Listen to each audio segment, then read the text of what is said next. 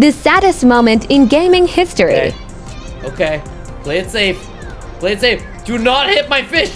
Do not hit my fish.